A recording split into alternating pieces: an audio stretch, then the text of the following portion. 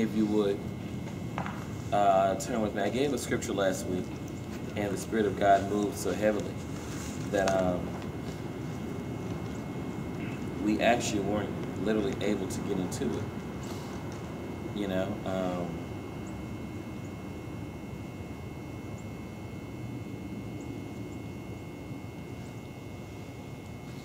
we weren't able to actually get into into the scripture, um, and I thank God that um, for His Spirit and for us to be able to um, move along with the Spirit. But the scripture was very important.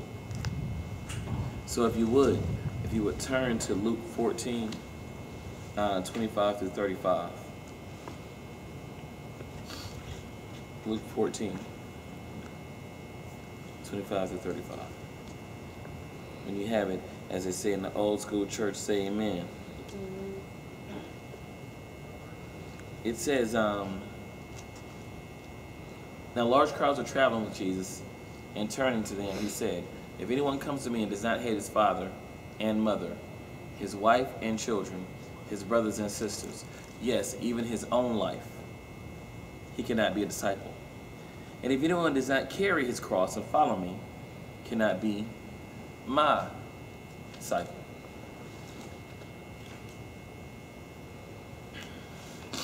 This morning I want to deal with you on priority, on your priority.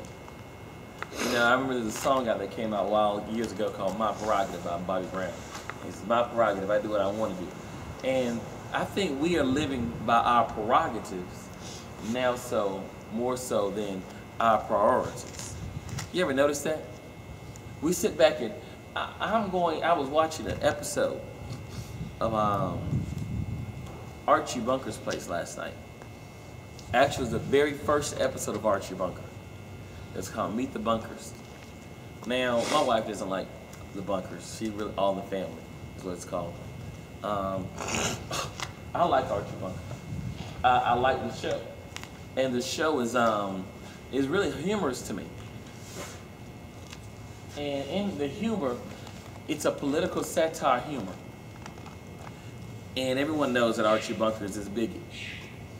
You know, now he's not a racist. He's just a bigot. You know. Um, but in the show, he has his, his son-in-law is this, you know, left-wing liberal.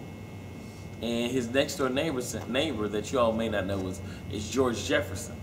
Because the Jeffersons was a spinoff from that show. And the Jeffersons had a son named Lionel. And Lionel what was studying to be an electrical engineer, you know. And Mr. Bunker, I'm just, says, Mr. Bunker would always make a joke. He says, he would, whenever he asked Lionel what do you want to do, Lionel would say, I want to be an electric engineer. And he would say it like that. And so, just to make Archie feel good about himself, he says, I'm going to give him what he wants. He says, you give people what they want so you can get to where you're going. He's like, because as long as I, am as long as I keep saying I'm an electric engineer like that, he keeps paying me to do fix stuff around the house. And that money is going towards my college for me to be an electrical engineer. And I look at it, I thought about that, and I said, you know, so often we get caught up on how people view us. And how what I'm not gonna take it. How dare you talk to me that way? And we miss the greater purpose we miss because we think that how dare someone want me to stoop down to that level? Sometimes you just got to serve. You can't be concerned about everything else. You can't be concerned about everyone else. You have to worry, what you have to do is be concerned about what the Father wants from you. Now here's the funny thing about it. Now and, and going on and going going going on, and I just I looked at so many ways of how we try to be about our own prerogative. And his son made a statement, Archie's son-in-law made a statement and said, you know, only thing you all are concerned about are your 24-inch TVs and your toasters that toast four pieces of bread at a time. And I was like, wow, that was a whole lot. That was a lot. A 24-inch color TV is big time back then. And a toaster that toasted four pieces of bread made you a baller. Can you imagine that? In today's times, we up here, we're, we're talking about trying to have a 54 inch TV. Many people hit doorbuster sales this this past Friday morning, trying to get. I was talking to one lady that was in line. She was in line at Walmart, first one in line. And I said, "What are you waiting for?" She says, "I think it was a 40 inch flat screen TV for her 12 year old daughter's room." I was like, "Wow." Okay. And she says, well, they have the, it's only for $200 or 199. You know, this is, they had a 32 inch for $50 less, but why not pay the other $50 and give her a 40 inch? And I'm like, wow. I mean, I guess I can see your logic there.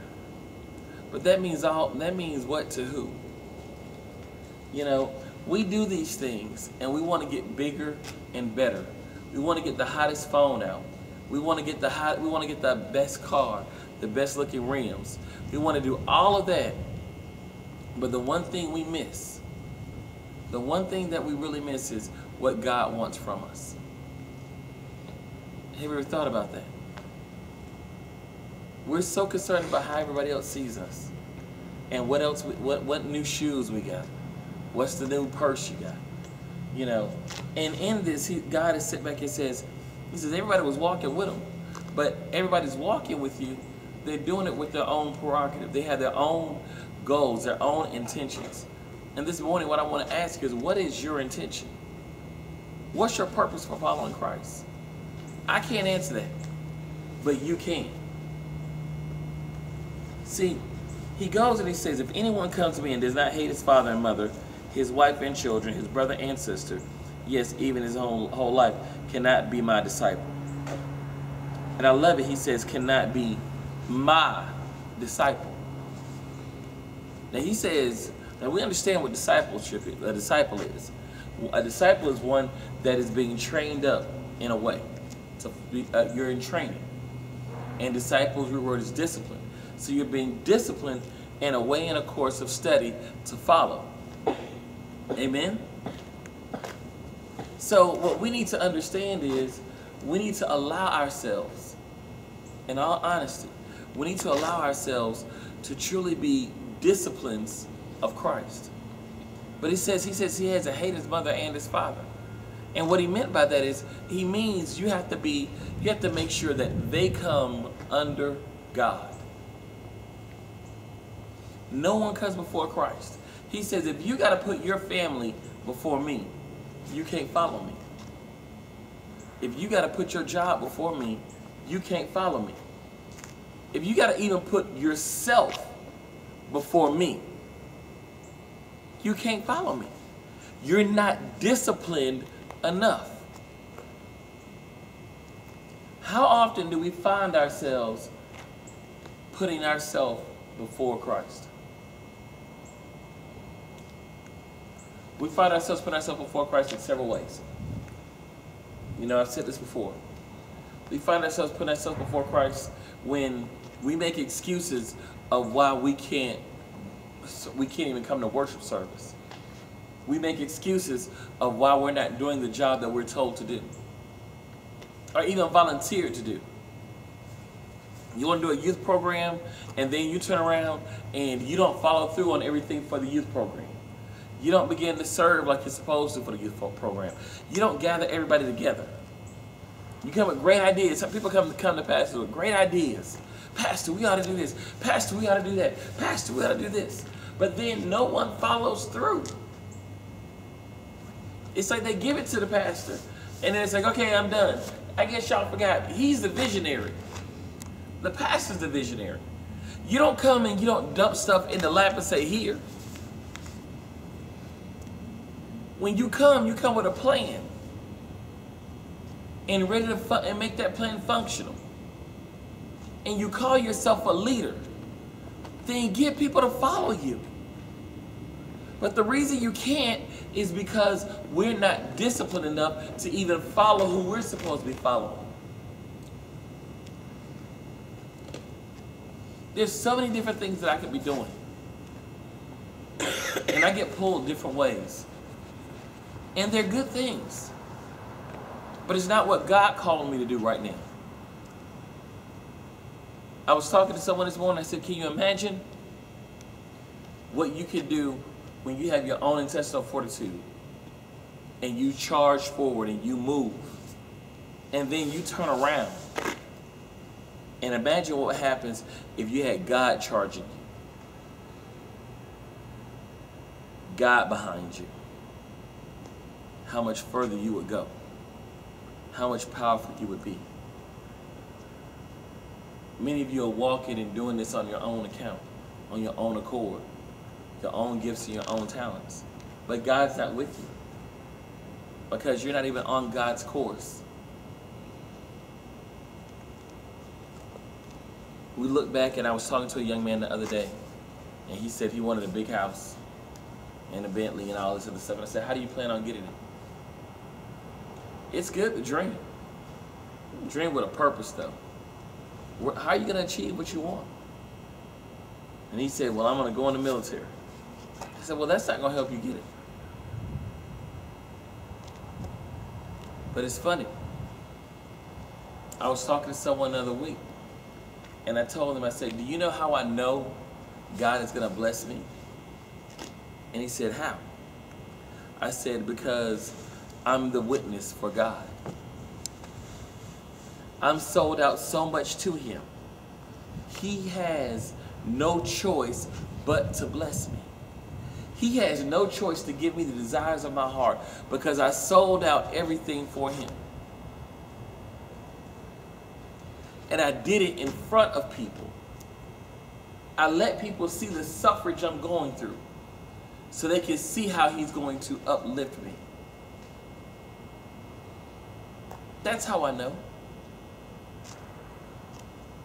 when I hear things and I'm, we're out here on this basketball court and it's 30, 40 degrees, and you're dedicated, and then you're studying, and then you're moving forward and we're doing things and those things are coming to pass. You know what the greatest thing about it is? God sees that. And God says, okay, you're willing to sacrifice yourself for me. And that's all I ask. Sacrifice you for me, how I sacrifice me for you. And he said, I even did it to a point where I sacrificed my life in pain till death. I'm giving you life and giving it to you more abundantly. And then promising you with eternity. You see how we miss that? We do everything else for a temporary fix. We do things we want, as they say, we want trophy wives. We want trophies to show what we've done. But God says, what I give you is eternal. You know, I realized, I remember when my daughter first started cheering, people said, well, they should get a trophy every time they win a competition. They at least they should get an end of the year trophy. I'm like, this is competitive cheerleading. I said, man, my daughter's been in competitive cheerleading since she was like three, four years old. I said, I can't imagine how many trophies she would have and how much junk would be accumulated and how it wouldn't mean a thing to her. What is a trophy? Now, I do like it when they give away jackets. They get, you know, they sometimes give away medals. But you know what? To a true champion, a true winner, it's not about that thing that's tangible, that you can hold. It's about that thing that's internal, that you know. The greatest thing they know is when they've been told they were the winner and they're the best. You know? That's one of the greatest feelings in the world. Can't nobody take that from you. Can you imagine having the same feeling? That's what God is promising you. I will give you that. He says, I will give you that great feeling of being victorious. And can't nobody take it from you. Can't nobody steal it. Can't no fire destroy it. And time won't tarnish it. But that which man gave to you, man can take away. I was talking to a young lady and she says, I will never forsake my mother for Christ. Not for God. That's my mother. And I said, that's a dangerous statement. Because God will, will sever that relationship to prove to you that He's God. If He wants you bad enough and that's interfering with what He has a purpose for you to do, watch what God will do. Can you imagine if you're not fit to be Christ's disciple, and that's what we're called to do, and you're saying, I can't follow at that level of commitment.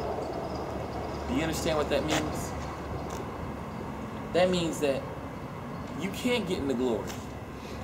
And everything that you do is in vain. Every single thing that you do is in vain if you're not serving God. Ask yourself, we've talked about this before, how is it you're serving God? How are you lifting up God? How are you bettering the kingdom? It's not just by coming to church. It's not just by praying. But what are you doing to uplift the kingdom of God?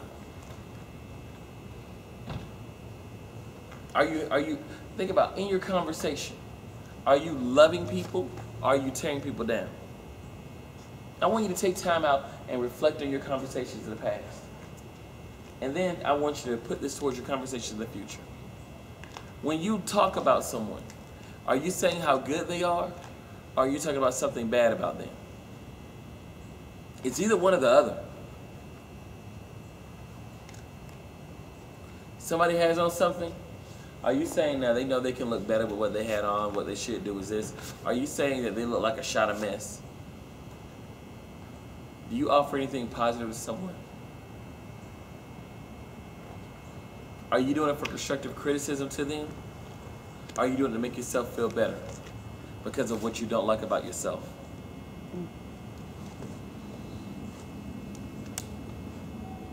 The power in life and death abides in the tongue. What are we doing with our tongue? We have so many excuses of why we do what we do, but we're never serving God the way He called us to. Forsaking all others. You know, Pastor, I can't do this because, you know, um, I, I, I really, you know, me and my old lady, you know, we, we got this thing going on. I understand, I believe in family. But every week, every day, Pastor, you know, I'm working, I'm working too much. But God is your source. Can He not provide for you?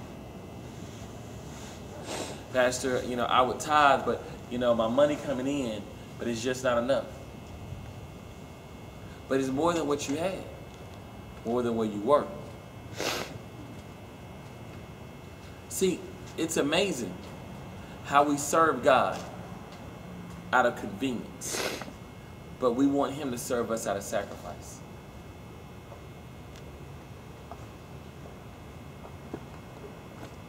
We don't we, we, we, we, we, don't spend time with God. This is a sacrificial walk. And if you want greatness, you got to put in greatness.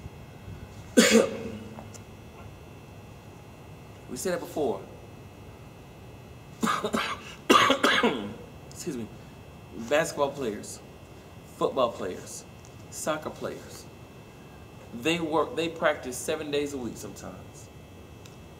My daughter's high school basketball team, they practiced every day last week, except for Thanksgiving. And they practice in the day. We give that dedication to everything else, but we don't give it to God. And we as parents make the dedication for our children, but we don't give it to God. I, I mean, my daughter's a cheerleader. I look at all these people that follow cheerleading. They're on they're on Facebook, they're on the Fierce boards, they're on this, they're looking at this website. How often do you, do you spend 10% of your time on your children? The time energy you spend on your children in the God. Because actually, it should be more time into God. There's no reason you should know every single of my cheerleading parents. For you should be able to know every single business going on in all the all-star gyms in Georgia. And you don't even know what's going on in this Word of God. You know every single child on your daughter's team. But you can't even name me the 12 disciples. You know how each coach co each coach teaches and instructs. But you can't tell me the personality of at least five disciples. Men, we thought we know the stats of football players, college and professional. But we can't quote 10 scriptures. We can't exegete too.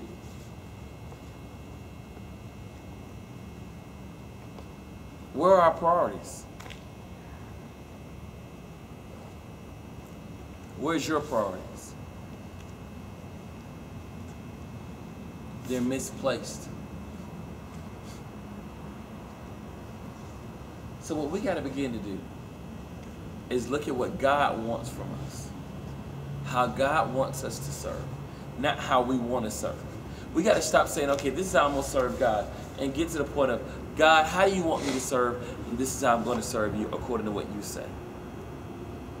And if that means sometimes you got to be, and it let you a technician, or you engineer, then that's what you got to do.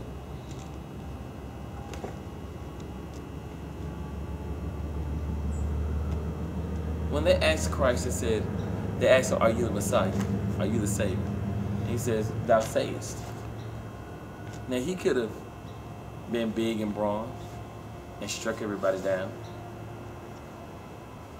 He could have performed a miracle right then. But he didn't. Humble yourself. I don't care if that means people taking advantage of you. Humble yourself. If it means taking chastisement, humble yourself. If it means doing things you don't want to do, humble yourself. It means keeping your mouth shut when you're requested, humble yourself. It's not about you. It's about God. That's what discipleship is. You know, we're going to do something new in January. We're going to spend 90 days. 90 days of how you're going to serve. Now, it's going to be a task. We do, not, everyone's going to be doing a starting on a corporate fast. You know, beginning of the year, everybody has this corporate fast. Everybody serves God and say, I want to serve God this way. I'm, my church, we're doing this. Okay? And they want it, they fast, and, you know, we've done a Lenten fast. You know, I know many of y'all went to that Lenten fast. We're not doing a Lenten fast this year. Well, we're not doing a Lenten fast in 2013. You know, it was a sacrifice. But I want you all to do a fast. Not even a fast but a way of life, a lifestyle change, that it becomes a part of you. So when we kick off in January in 2013, we're going to do something very different. In 2013, I'm charging everyone a part of Power of Faith. We're going to give 90 days. 90 days to serve God completely. 90 days dedicated to the ministry. That means forsaking everything else. That means from your tithing to your time to your talent. Every week, there should be a project that you're not only working on, but completing for the ministry. Denying everything else whatever your corporate agenda is outside of your, your work and the things we got to do, we're putting God first for 90 days. 90 days. Now, Pastor, does that mean that I can't do this and I have it? No, it doesn't mean that. It means that, but first, you find out what God wants you to do, and then you do that, and you work God into everything that you're doing. 90 days. I want this ministry be on uh, the first thing off your mouth, talking about God and discipleship and service. 90 days. That's uh, every single day, all day long.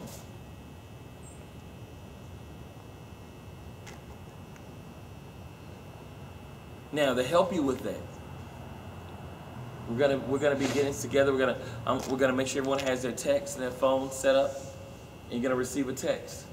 Uh, uh I'm gonna have Sister Matt put it on the calendar, and link everyone's calendar. So it's gonna be some things on your part.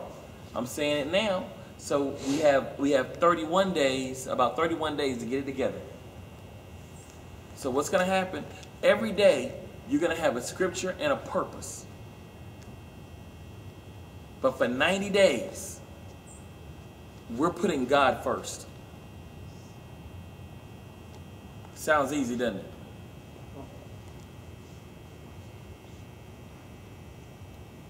Ninety days.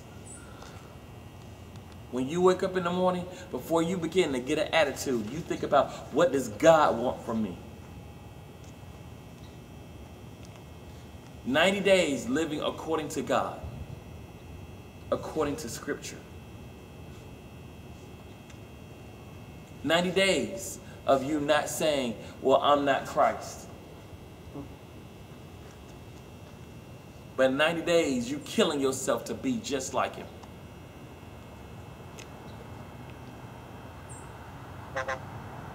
Ninety days.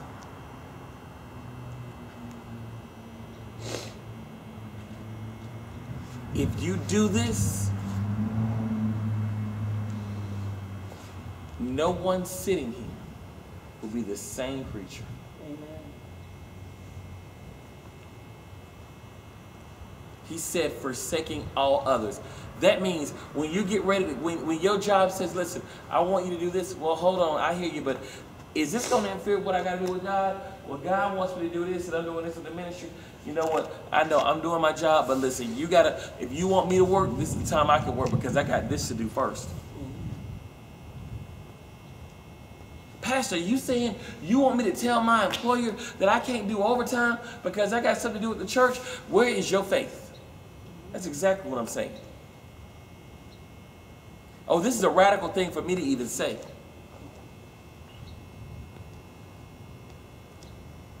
90 days. 90 days. It's gonna be hard if we got kids, I know. My child, she gonna go, Dad didn't want to go to this party, but no, we got something we're doing ministry. 90 days. You too. 90 days. 90 days. And here's the thing. It doesn't mean just going through the action. You gotta have your mind and your spirit right. 90 days. 90 days of faithful 100% tithing. 90 days. No, and it just hit me. God, thank you. I know, I know, I know, because there's some people out here that are watching this and they say, yeah, yeah, he did it at the right time. I, he just said it. That's what it was about. It's not about tax time. And it just hit me that I know I forgot how some of my people are that y'all watching. Y'all look for every angle that the preacher gonna come at. It's not about tax time. It's not about, oh yeah, he said it then because 90 days gonna cover the whole tax period. You know, so that means that they gotta make sure they tie their taxes right. It ain't about that. So I'm putting that out there. But yes, 90 days of faithful tithing. 90 days of faithful giving offerings. 90 days of sacrificing. 90 days. See, I'm gonna tell you something. I watched some people this week bless and I and I'm not one of those pastors that sit back and say I'm the gifted. You know, you you pour into me, everything is great. But I'm gonna tell you something. I, God showed me how He's got to bless some people that actually sacrificed and blessed me this week. Because they didn't have to. And I watched it. It was a one, and, and God showed me. He's like, "Watch this. I got something for them. They don't even know it. Don't even know it. They don't even know what I'm about to do." just because of that. But 90 days. 90 days of positive speech. 90 days of positive speech. That means 90 days, we're not going to say anything negative about or towards anyone. We're going to speak life. 90 days of, I don't like her. 90 days of no, I don't like him. 90 days of no, I don't, they get on my nerves. 90 days of none of that. 90 days of going to people that you have problems with. It says, help me find a way to love you. Oh, Jesus, thank you. Can you imagine that? Going to people and saying, help me love you.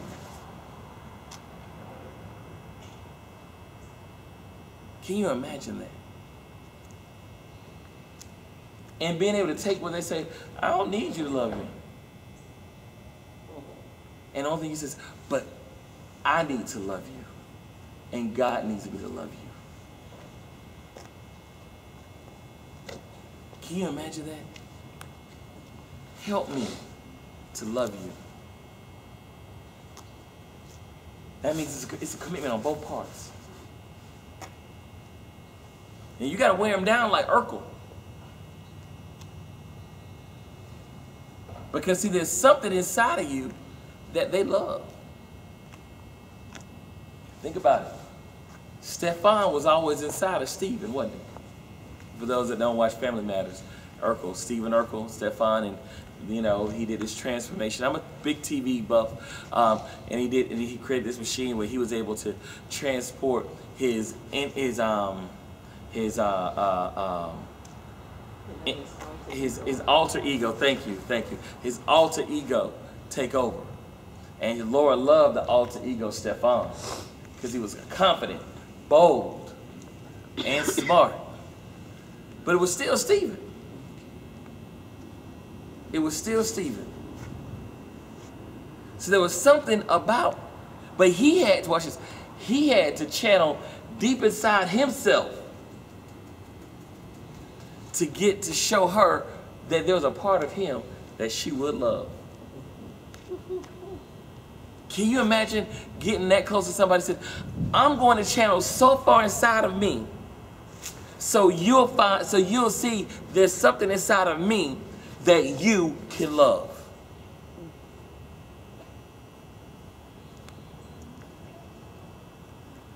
That's love. 90 days. I heard, I heard, I heard people say, my daughter said it, someone said it. I don't need, I have enough friends. You never have enough friends. There's no such thing as having enough friends. Never. Can you imagine by you saying you you you had enough friends? You know what you're really saying? You're saying you're done you're done trying to reach people and evangelize and disciple people. Can you imagine that? So what's your purpose? If you're done making friends and building relationships, your life here is now over. God needs you no more. So if you're ready to go into glory, just go ahead and do that. But I hate to break the news to you. If that's your attitude, then glory is not your destination.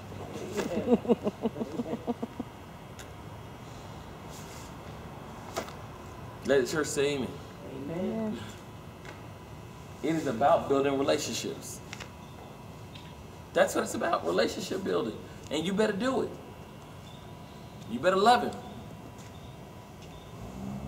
So that's what it means by forsaking all others, putting all this first before your family, your friends.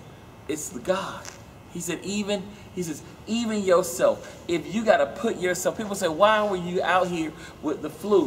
Why were you there with the flu? Why were you on the prayer call with the flu and out here doing all that? But then you wouldn't go nowhere else because I had to deny myself for God.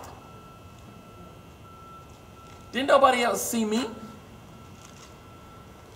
My daughter was talking to me. She said, Daddy, we still haven't gone to my birthday dinner. I said, I know, but I don't want to be at the table coughing.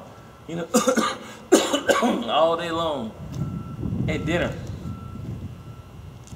But, because I, why, why did I want to be coughing all day long at dinner? Because I don't want to bother anybody else. But guess what? I don't care about y'all when it comes to God. Amen. I do what he say do. You know? I'm serious. It's a sacrifice. It's a sacrifice.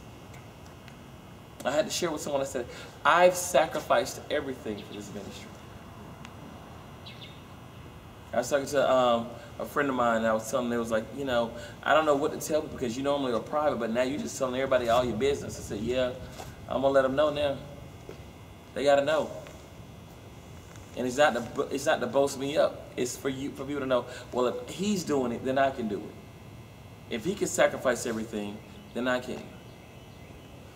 You want to know why some pastors, when they make it, and their churches are doing well, and people say why they have a, it's, you can't tell them nothing. They don't want to hear anything because they sacrificed. We don't understand it. I'm, I'm, I'm giving y'all ground level, you know, for y'all, you all that know most of the market. You're on the ground floor ground level information that you don't find out or you may never find out. I'm giving it to you now. We bust and we sacrifice like any other businessman that makes a great company. So we don't understand the excuses that people give. Because they want greatness, but you don't want it, but greatness costs.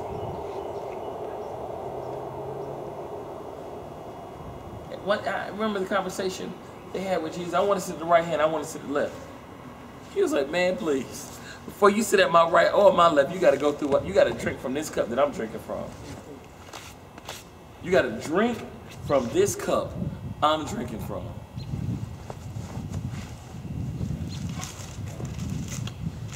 Half y'all don't want to drink from that cup. That's one challenge. You that's just like, pass me by.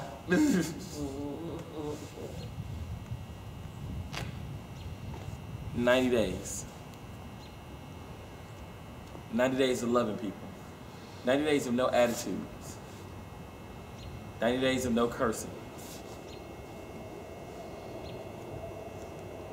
I know for some of y'all that's hard. Now, now, let me say this.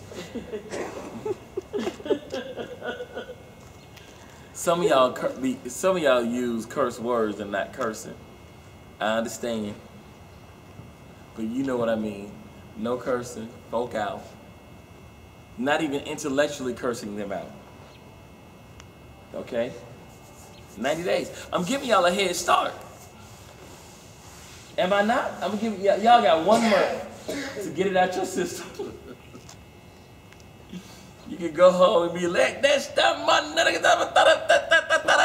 Y'all can speak all the tongues you want to speak in that bathroom and get it out your system. Okay? For those of you that, that, that, that, that smoke weed, 90 days and no weed. For those that get drunk, 90, 90 days and no liquor. 90 days, 90 days, 90 days. You know? Uh, 90 days. 90 days means 90 days of, that means, I told y'all on the prayer call, no, no bad mouthing your leaders. No bad mouthing teachers, educators, pastors, employers. Nothing negative said about them. And no, that doesn't mean you just don't say nothing. See, some of us saying, or just say, I'm just going to keep my mouth shut then. No, you got to speak positive things. Every time you feel that there's something negative you want to say, you got to say something positive. You get no. I love you and you have a lovely spirit. And I like the way that you challenge my spirit to be better. See, you say that instead of saying you're getting on my nerves. Yeah, I see the look she gives me. No, we can't walk away from it. Whenever someone vex you, Instead of just shaking them, you sit back and say, Thank you for showing the weakness inside of me, and I love you.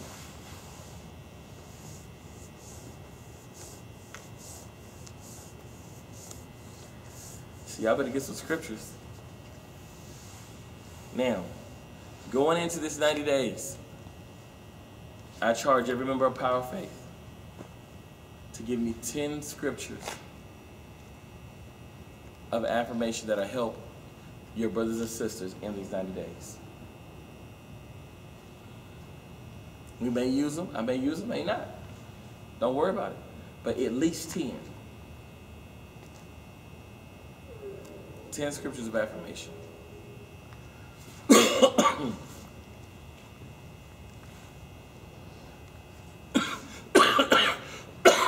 Excuse me. So, I want those 10 to be turned in no later than the 20th of December.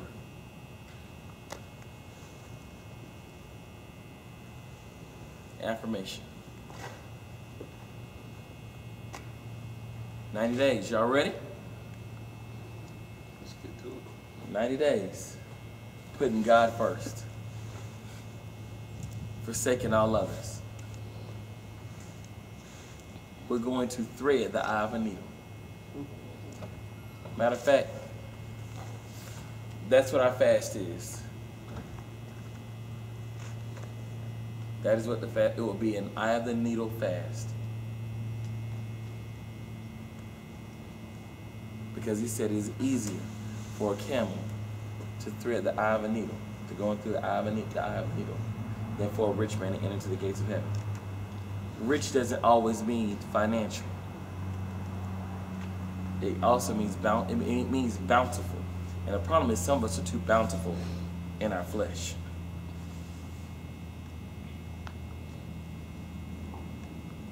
Now, I want you all to get everybody on board with this. Send this fast to your friends. Get everybody. Can you imagine if we just if, if we if each one of us got 30 people to take on that or just 10 people to take on the fast with us. 10 people to take on that same fast. An eye of a needle fast. What that would do in your life and what that would do to people around.